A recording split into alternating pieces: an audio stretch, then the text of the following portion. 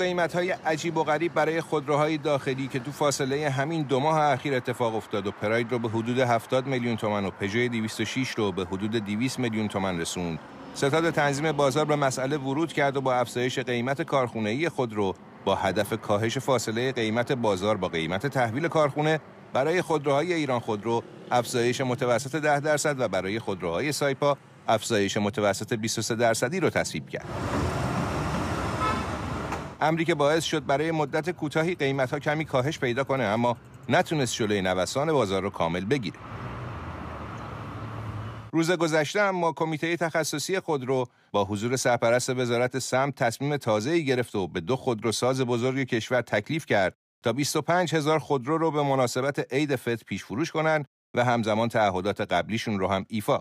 پیش فروشی متفاوت با اونچه قبلتر اتفاق میافتاد. چرا که مقرر شده ثبت نام یک هفته ادامه داشته باشه تا همه اونهایی که متقاضی خرید خودرو هستند بتونن در اون شرکت کنند. بعد از پایان مهلت یک هفته ای 25 هزار نفر نهایی از بین ثبت نام کننده ها با قرعه کشی مشخص میشه که باید ظرف مدت 48 ساعت از طریق سایت فروش اقدام به تکمیل وجه کنن و پول متقاضیانی که جزو افراد نهایی نیستن هم ظرف مدت 7 روز بهشون برگردونده میشه. افراد نهایی نمی‌تونن خودرو خریداری شده رو بفروشن چون ضوابط فروش طوری تعیین شده که خریدار خودرو به هیچ عنوان حق فروش وکالتی اون رو نداشته و خودروی فروخته شده قابل صلح هم نیست. اگه در هر کدوم از مراحل فروش، تکمیل وجه، تحویل خودرو و یا هر بازه زمانی دیگه بعد از تحویل خودرو هم مشخص بشه که خریدار این ضوابط رو رعایت نکرده، امتیاز خودروش سرد میشه و خودروش رو توقیف می‌کنن. به همین منظور سند خودرو تا یک سال تو رهن کارخونه باقی میمونه. خودروهای تحویلی هم باید حد اکثر ظرف مدت سه ماه برای استفاده از گارانتی به خودروسازان مراجعه کنن وگرنه خودرو مستاق احتکار محسوب میشه.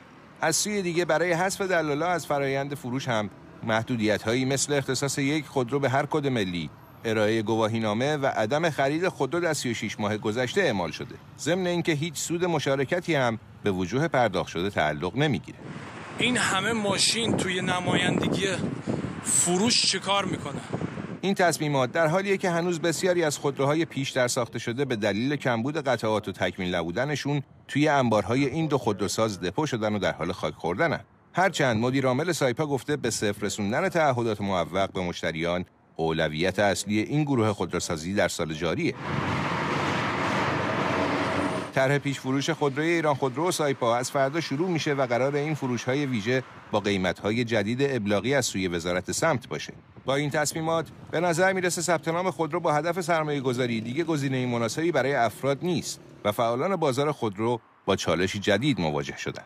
سوال اینجاست که این تدابیر و تصمیمات که از نگاه کارشناسان باید خیلی زودتر اتفاق میافتاد تا چه میزان زمانت اجرایی داره و چقدر به ساماندهی بازار کمک خواهد کرد. علی پیرهادی